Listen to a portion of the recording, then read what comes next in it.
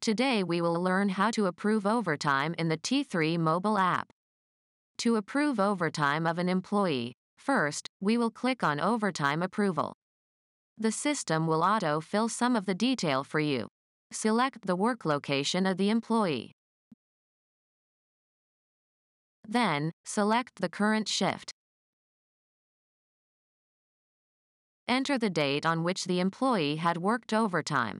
It will auto-reflect today's date but it can be changed. Then, select the relevant pay code by clicking on the list view according to the organization's rules.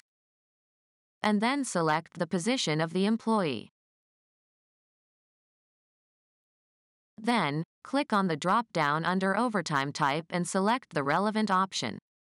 Like before shift, after shift or for any public holiday, and weekly off then enter the number of hours worked overtime under approved hours.